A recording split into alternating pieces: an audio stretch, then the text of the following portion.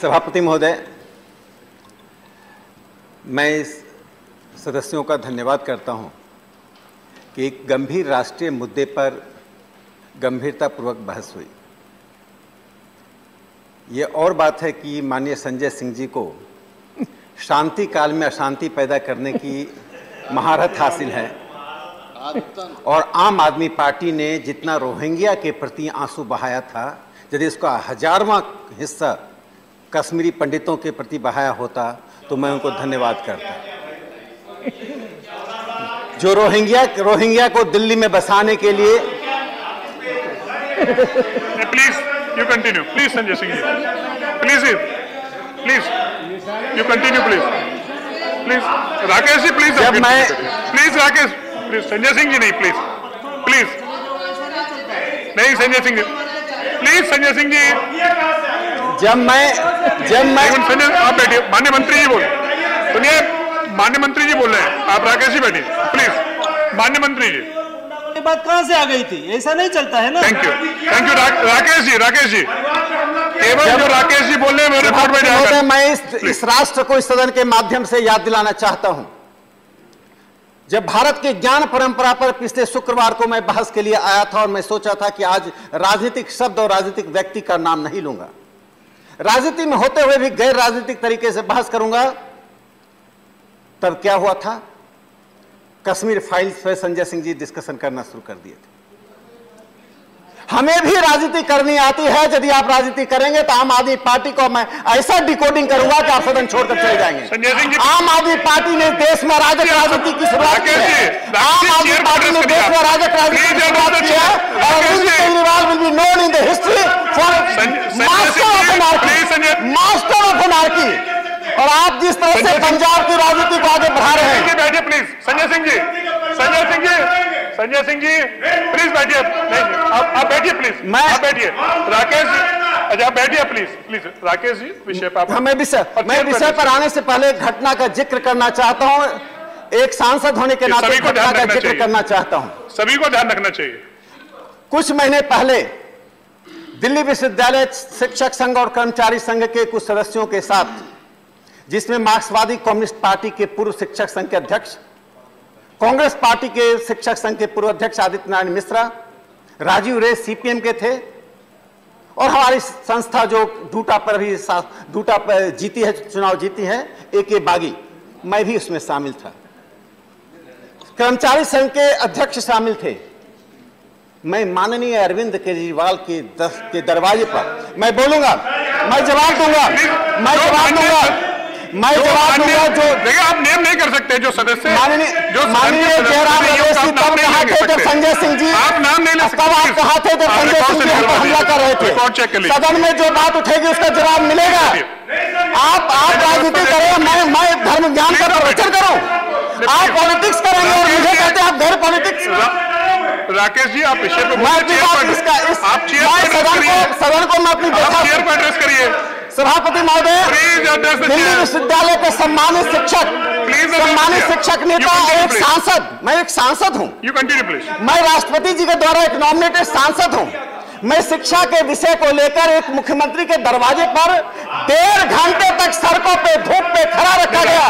पानी नहीं दी गई। अंदर फैसले की बात नहीं कही गई। ये अरविंद केजरीवाल अरविंद केजरीवाल की पूरी राजनीति देश में राजनीति की राजनीति है। उसका उनका नाम नहीं ले सकते आप।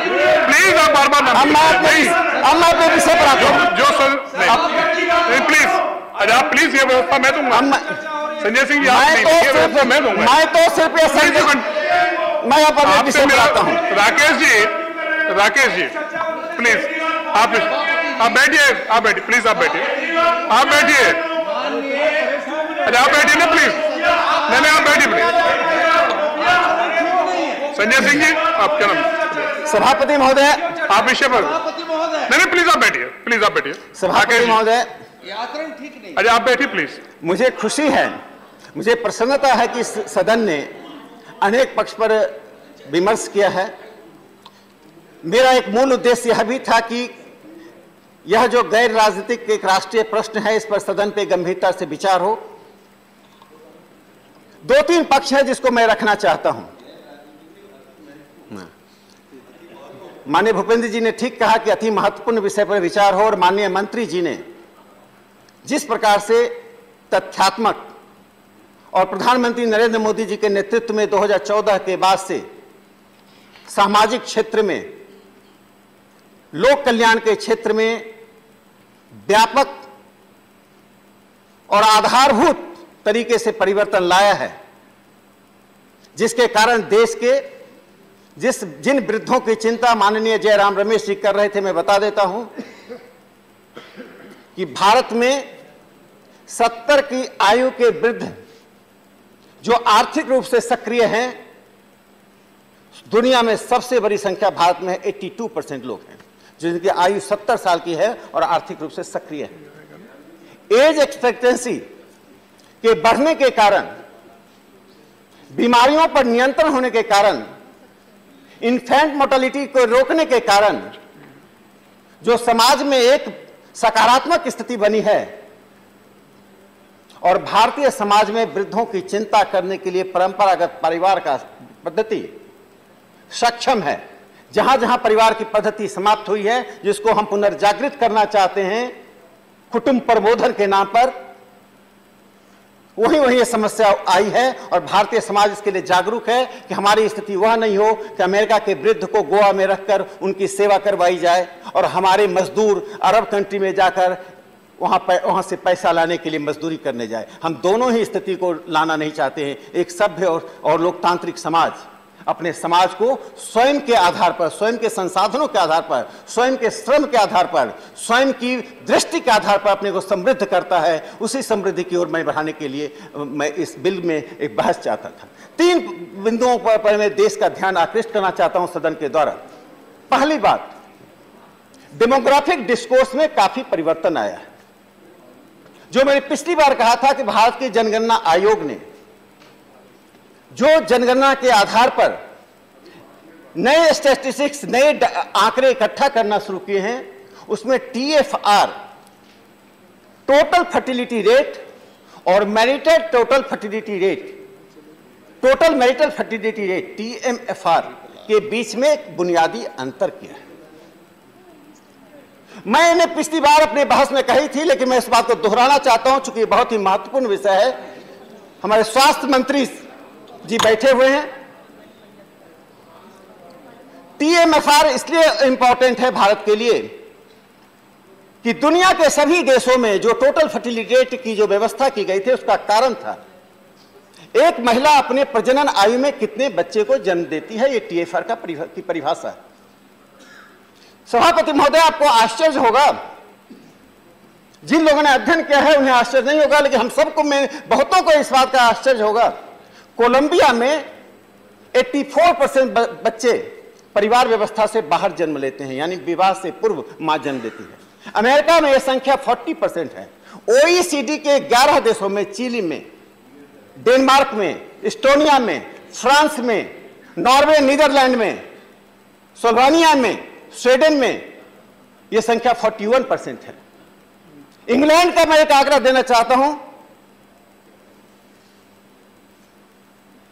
विवाहित माह से 2020 में तीन लाख उनतीस हज़ार और अविवाहित माह से दो लाख सतहत्तर हज़ार बच्चे पैदा हुए थे। यहाँ तक कि पुर्तगाल में 50 परसेंट बच्चे अनमेरिड मदर से पैदा होते हैं। इसलिए टीएफआर का जो कंसेप्ट है, वह कंसेप्ट वह अवधारणा उनकी अपनी परंपरा के अनुसार है, मैं उस परंपरा का कोई नकारात्मक पक्ष नहीं देखता। उनकी जो भी परंपरा उसके आधार पर टीएफआर बनाया। हमारे यहाँ जो बच्चों का जन्म होता है, साधारणतया विवाह के बाद होता है। इसलिए जनगणना आयोग ने टोटल मैरिटल फर्टिलिटी रेट एक विवाहित महिला अपने प्रजनन आयु में कितने बच्चे को जन्म देती है, वह महत्वपूर्ण है। इसलिए जनसंख्या 2.1 पर आने के बाद भी जो जनसंख्या का मैग्नीट्यूड बढ़ रहा है हाँ, जनसंख्या का मैग्नीट्यूड बढ़ रहा है उस बढ़ते हुए मैग्नीट्यूड का यही कारण है कि हमने टीएमएफआर की ओर ध्यान नहीं दिया आज हमें टीएमएफआर की ओर ध्यान देना पड़ेगा। टीएफआर के कंसेप्ट से टीएमएफआर का कंसेप्ट कैसे है कैसे जनसंख्या पर आता है। दूसरा जो महत्वपूर्ण पक्ष है मैं सिर्फ़ एक जवाब देना चाहता हूँ। केरल के साथियों ने कहा मैंने अपने बिल में कहीं भी हिंदू मुस्लिम शब्द का प्रयोग नहीं किया किसी धर्म का नाम नहीं लिया। ना ही मैंने अपने भाषण में उस धर्म का नाम लिया था। लेकिन एक समाज में विमर्श करते समय हमें किसी बात को तथ्यात्मक रूप से बोलने से डरना भी नहीं चाहिए। यदि मैंने हिंदू शब्द बोल दिया मुस्लिम बोल दिया क्रिश्चियन बोल दिया पारसी बोल दिया तो कोई असंवैधानिक नहीं हो जाता। हम जब वो डाटा इकट्ठा करते हैं मनोज झा जी बार बार जातिगत जनगणना के लिए के, के लिए शोर मचाते रहते हैं। तो धार्मिक जनगणना जब धार्मिक जनगणना होती है धार्मिक जनगणना जब होती है तो, तो धार्मिक जनगणना होने पर मैं एक आंकड़ा देना चाहता हूँ। केरल के मित्र हमारे नहीं है चले गए बहस करके। 1901 से लेकर 2011 तक 11 डिकेट्स में हिंदुओं की जनसंख्या 13.8 परसेंट घटी है वहाँ पर एक मुस्लिम की जनसंख्या 9.8 परसेंट बढ़ी है। ये तथ्यात्मक बातें हैं। बढ़ी अच्छा बढ़ना अच्छा है या खराब है मैं इस पर नहीं जाता हूँ। लेकिन उस तथ्य से आप मुँह नहीं मोड़ सकते हैं। 2001 से 11 के बीच में वेस्ट बंगाल में थर्टीन डिकेटल ग्रोथ रेट जो जनसंख्या का है वो 13.5 परसेंट है। और मुस्लिम मुस्लिम मुस्लिम जन प्लीज़ प्लीज़ बैठे और और मुस्लिम जनसंख्या का डिकेटल ग्रोथ रेट बंगाल में 21 परसेंट है हिंदुओं का डिकेटल ग्रोथ 10 परसेंट है डिफरेंस 11 परसेंट का है। मैं ट्रेंड की बात मैं आप आप ट्रेंड में मनोज जी प्लीज़ केरल में। प्लीज़ नहीं नहीं प्लीज़ आप उस तथ्य को सुनिए। प्लीज़ तथ्य को सुनिए। केरल में जो डिजिटल ग्रोथ रेट है मुस्लिम का 29 परसेंट है हिंदुओं का 10 percent the gap is 19 percent तो मैं सिर्फ़ तथ्य की बात कर रहा हूँ आपके लिए स्वागत योग्य है या नहीं है मैं इस पर नहीं जाता हूँ ना मैं स्वागत करता हूँ ना विरोध करता हूँ तथ्य को आपके सामने रखता हूँ आँख बंद करने से तथ्य बदलता नहीं है। इसलिए मैं इतना कहना चाहता हूँ कि जो एक सौ hundred thirty thirty three district है, जिसमें उत्तर प्रदेश और उत्तराखंड में बावन ज़िले हैं, बिहार में 24 झारखंड में 9 मध्य प्रदेश में तीन, हरियाणा में एक, नॉर्थ ईस्ट में 28 डिस्ट्रिक्ट हैं, जम्मू कश्मीर में छह डिस्ट्रिक्ट हैं, जहाँ जहाँ टोटल टीएफआर जो अगर पुराने कंसेप्ट टीएफआर को लें तो 3.5 है। 72 डिस्ट्रिक्ट में टीएफआर फोर से अधिक है। तो मुझे यही कहना है कि हमारा जो प्रयास चल रहा है, उस प्रयास में लोकतांत्रिक तरीके से हम इमरजेंसी को दोहराना नहीं चाहते 76 को दोहराना नहीं चाहते हैं। जयराम रमेश जी 1966 में भारत सरकार में जनसंख्या को कहा था एक्सप्लोजिव एक्सप्लोसिव स्टेट कहा था। 1940 में ही जवाहरलाल नेहरू ने नेशनल प्लानिंग कमेटी के द्वारा एक सब कमेटी का गठन किया था। तो मैं इतना ही कहना चाहता हूँ कि जनसंख्या नियंत्रण पर गंभीरता से जो प्रयास चल रहा है, उसके लिए मैं आसान्वित हूँ मुझे पूरा विश्वास है, धर्म, जाति, क्षेत्र, भाषा से ऊपर उठकर हम अपनी जनसंख्या को नियंत्रित कर पाएँगे और इस देश को एक सुखमय राष्ट्र की ओर ले जाने का प्रयास करेंगे, जिसमें रोहिंग्या का स्थान नहीं होगा, इस देश के लोगों का स्थान होगा, इस देश के लोग अपनी समृद्धि के साथ रहेंगे। धन्यवाद। धन्यवाद।